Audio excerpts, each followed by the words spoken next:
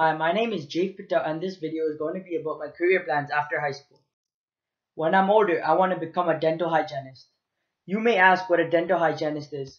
Well, a dental hygienist is someone you would go see when your teeth need cleaning or you need to get them x-rayed. Dental hygienist versus dentist. Some people think that dental hygienists and dentists are the same thing. This is not true because dental hygienists work for dentists or they can also have their own office.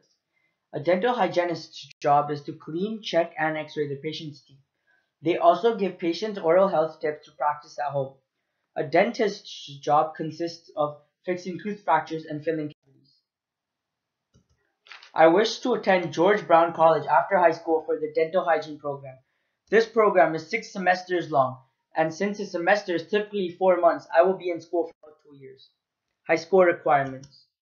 Ontario Secondary School's diploma grade 12 English, grade 11 or 12 chemistry, grade 11 or 12 biology, and an average of 70% is required. My grade 11 and 12 courses.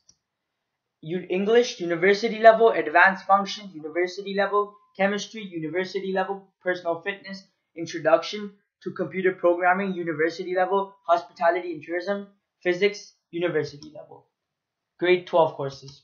English college level, biology university level, chemistry university level, personal fitness, introduction to kinesiology university level, hospitality and tourism, physics university level, and healthy active living education. Tuition. The cost for this course is $21,466. It covers the total tuition, materials, student services, and ancillary fees. Post graduation. After graduating from George Brown College, I will write my dental certification exam to become a licensed dental hygienist.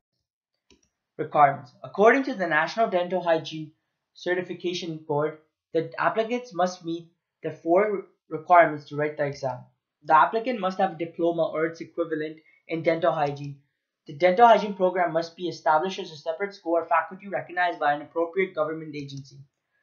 The program must be at least two years of academic dental hygiene education in the recognized dental hygiene program.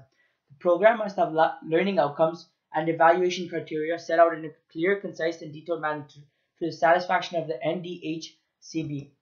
The application fee to write the exam is a non-refundable $100. The passing mark on the exam is 66%. After I write the exam, the ND, NDHCB has up to six weeks to mark my exam and tell me my results.